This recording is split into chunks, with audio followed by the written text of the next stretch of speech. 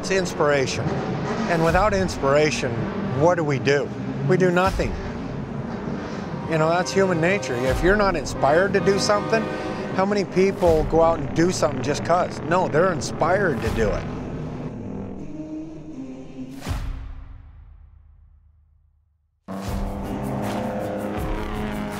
Rolling Thunder is a group of trucks that are doing stock car times on straight diesel, no additives.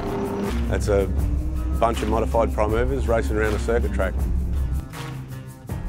I would describe big rig racing as something you definitely have to watch because there's a lot that goes into racing with these 10,000 pound machines. Something that it, you can't explain in words, you've got to actually see it on the track to understand it and believe it because it's, it's just not, not what you see every day.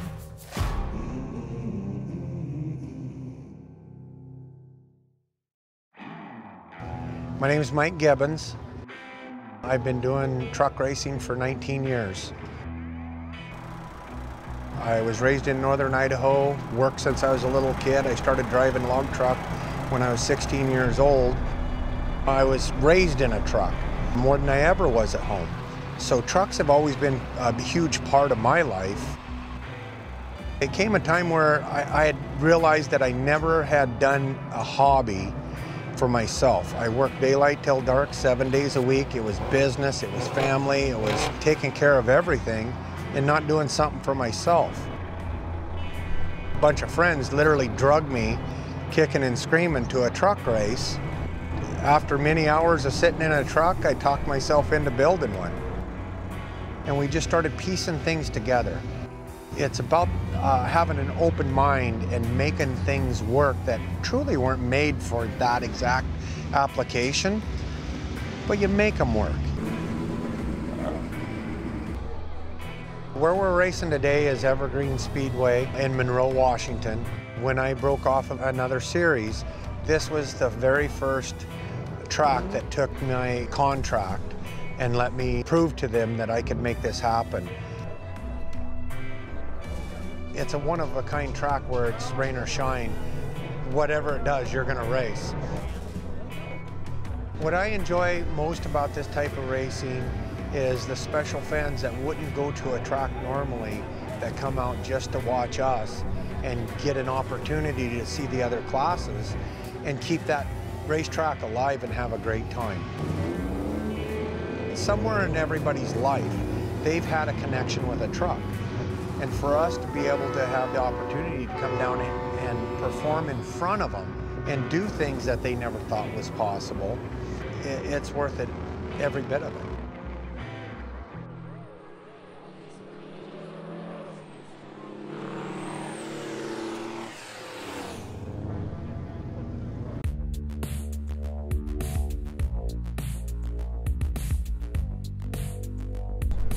My name's Tammy Williams. I drive number nine. I got into this about 10 years ago. I was a sponsor for the team. We supply the turbochargers. I haven't driven any type of big rig or 18 wheeler, uh, let alone hardly any stick shifts. So it's different, but it's fun. It drives like a big machine. Some of the modifications we do is we shorten up the wheelbase, adjust the timing and change the turbo out, marine injectors, more fuel, make them go fast. My name's Andrew Tully and it's the first time I've ever done this.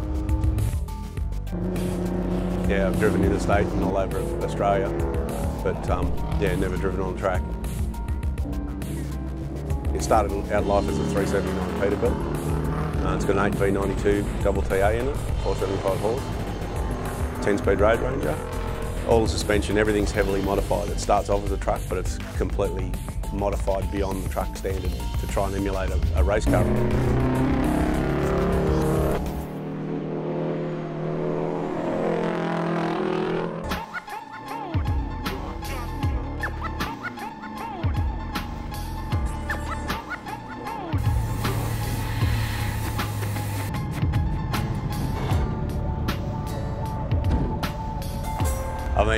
If you're into motorsports and adrenaline, why wouldn't you want to try and throw something this size and this weight around a track and try and tame the beast, so to speak? I mean, it's just, yeah, it's a challenge that I think everyone has probably got a bit inside them that wants to have a go at it.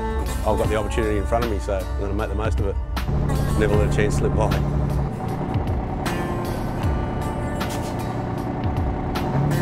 The reality of a good, really good day's racing is when everything drives back on the trailer. There's not a lot of body damage or motor damage, which isn't going to happen tonight because we've already blown one motor up. But everybody goes home happy and fulfilled and, having a great time, you know, and in one piece.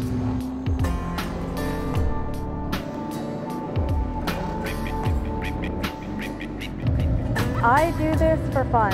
It's kind of an outlet to get away from your day-to-day routine, to just let loose, have fun with the guys, and they're like a family, and it's just a different gig.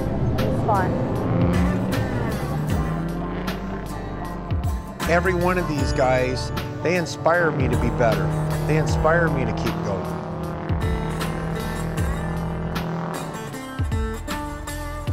It's about a group of guys with, with the same passion that want to make it work. Everybody has to work together. It doesn't matter what your skill set is, what your job is. It takes all of us to make this thing happen.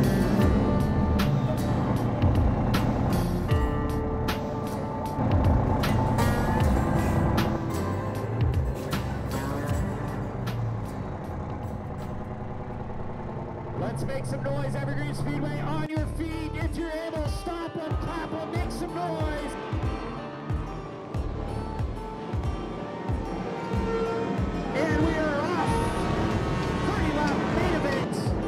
Putting that kind of weight around the track at stock car times is no easy feat. So it's really showing the skill of the drivers because they have to change to the truck as it changes throughout the night.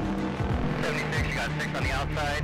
17, you got 10 on the outside. Being out on the track, it's like just a lot of adrenaline going. You kind of get tunnel vision. You got to watch your gauges and you got to watch who's around you, watch how many laps you're on, if there's any cautions. So it's definitely a lot going on.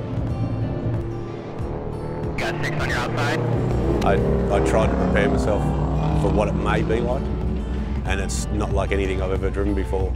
The only thing is that you can do things in this thing that you can't do in a truck, and you know I've, I've driven some pretty fast trucks in Australia, but a purpose-built truck you can just do so much more in it and feel so much safer. It's it's insane. It's, you can push it to the limits, as you've seen. I got a bit sideways early today, and yeah, it's it, it's just yeah out of this world. we work together as a team and that's where it's different from anything else that you'll find is we might be competitors against each other but we are also uh, brothers and sisters and, and we're family why do i do this at this point because i'm scared nobody else will because it's such an oddity that it's going to be tough to find anybody that has the passion to keep this thing going. And if I don't do it, it's not going to get done.